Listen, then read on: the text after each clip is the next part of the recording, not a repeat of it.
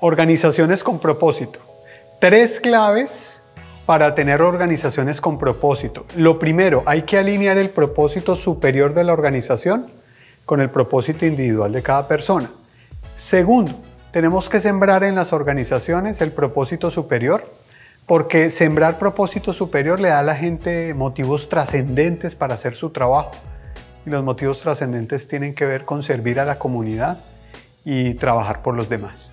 Y tercero, una organización con propósito tiene un gran logro. ¿Cuál?